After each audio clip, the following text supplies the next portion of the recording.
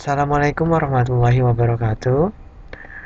Pada kesempatan saya kali ini, saya ingin menjelaskan tentang perancangan sistem informasi administrasi sekolah pada SMP negeri dengan menggunakan Java NetBeans dan database MySQL untuk mata kuliah pemrograman berorientasi objek. Sebelum kita masuk ke pengertian dan uh, sistem informasi tentang administrasi sekolahnya, perkenalkan nama saya Lintang Bagas dan oke, okay, kita langsung masuk ke perancangan sistem. Tapi sebelum kita mulai ke perancangan sistem ya kita harus tahu dulu apa sih perancangan sistem itu. Nah, di sini saya akan jelaskan perancangan sistem merupakan salah satu unsur atau tahapan dari keseluruhan pembangunan sistem informasi. Jadi, perancangan sistem itu adalah dasar-dasar dari suatu pembangunan sistem informasi. Jadi dia itu uh, hal pertama kali yang dilakukan sebelum melakukan perancangan sistem. Unsur pokok yang harus dipertimbangkan dalam pembangunan sistem informasi adalah mengenai perangkat lunak. Karena nggak mungkin dong kalau kayak kita mau bikin uh, desain bangun ruang, masa kita pakai uh, aplikasi pengolah kata kan nggak mungkin. Jadi uh, pemilihan aplikasi itu juga penting, termasuk dan dalam perancangan sistem. Perancangan database dan desain. Dalam pembuatan suatu sistem diperlukan perancangan database. Kalau nggak dirancang, itu kita nggak akan tahu kita mau buat aplikasi apa, desainnya gimana. Jadi sesuatu segala sesuatunya itu harus dirancang terlebih dahulu. Nah, database sebagai media penyimpanan merupakan salah satu aspek penting yang akan menentukan untuk kerja data program yang dibuat dan pada dasarnya database disiapkan untuk menghasilkan sebuah laporan informasi. Jadi, database itu sebenarnya gunanya adalah untuk menyimpan data yang sudah kita buat. Dan juga salah satu yang pentingnya adalah dia disiapkan untuk menghasilkan sebuah laporan informasi. Nah, kita masuk ke database. Nah, sekarang untuk konteks diagram. Konteks diagramnya itu berpusat di sistem administrasi sekolah. Karena yang akan kita buat ini adalah sistem administrasi sekolah. Lalu selanjutnya sistem administrasi sekolah ini mempunyai tiga kepala besar yaitu kepala sekolah guru dan admin. Yang dimaksudnya itu adalah eh, yang mempunyai akunnya itu adalah kepala sekolah guru dan admin. Di sini kepala sekolah eh, berhak ngapain aja. Nah di sini dia eh, membuat laporan data kepala sekolah tentang guru, siswa, pegawai, dan dapat mengganti password juga eh, password akun kepala sekolahnya. Lalu setelah itu dia dapat melihat dokumen yang sudah dibuat dan lain-lain. Begitu pula juga sama guru dan admin. Selanjutnya untuk data flow diagramnya.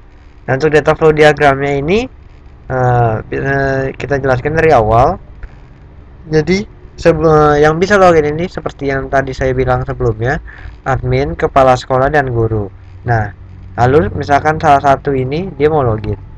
Login. Nah di sini dia bisa memilih antara hanya ingin melihat laporan data atau membuat laporan baru. Nah jadi di sini harus itu di save disimpan lalu baru hasilnya ke sini dan lalu logout use case diagram. Nah di sini bisa lihat nih yang rumit ini. Ada ada guru ada kepala sekolah. Nah di sini dia memegang masing-masing.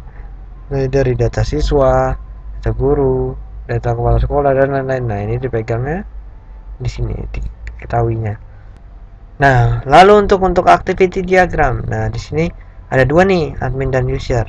Nah jadi gimana kita tahu apa maksudnya ini? Nah jadi gini user memvalidasi atau ingin login. Jika login berhasil, maka akan masuk ke halaman utama. Nah, kalau dia tidak berhasil, akan kembali ke halaman login sesuai yang sudah diatur sama uh, admin jaringan sebelumnya. Lalu setelah itu di menu utama ini uh, admin mengirimkan uh, tampilan ya, tampilan menu kepala sekolah, siswa dan lain-lain. Nah, di sini lalu uh, laporan data cache nah di sini dia bisa memu memulai membuat data atau menghapus data. Kurang lebih seperti itu. Nah lalu untuk desainnya. Nah di sini ada tampilan halaman login. Nah di sini terdiri ada judulnya sistem administrasi username dan password buat login lalu cancel dan exit buat kalau tidak jadi login. Lalu halaman ganti password di sini. Masukkan user lamanya dulu lalu lalu password baru. Nah di sini nah di halaman ganti password kurang lebih seperti itu. Lalu selanjutnya adalah halaman utama kepala sekolah dan guru. Nah di sini tuh bisa dilihat uh, tools toolsnya tuh beda ya dia. Halaman kepala sekolah itu beda toolsnya. Nih di sini ada 6 tools dan di sini hanya ada 5 beda lagi dengan halaman utama admin. Di sini hanya ada 4 sesuai dengan keperluannya mereka masing-masing dan kebutuhannya.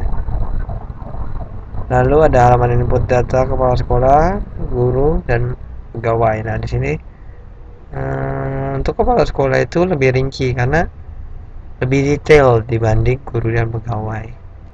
Lalu selanjutnya halaman uh, apa untuk laporan data kepala sekolah dan guru dapat dilihat di atas ini laporan data kepala sekolah dan guru.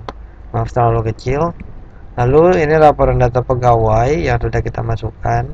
Dan ini adalah laporan data siswa. Jadi it's, jadi uh, laporan data ini laporan yang udah kita buat sebelumnya di uh, aplikasi itu nah dia akan muncul hasilnya tuh seperti ini ini untuk laporan data siswa ada.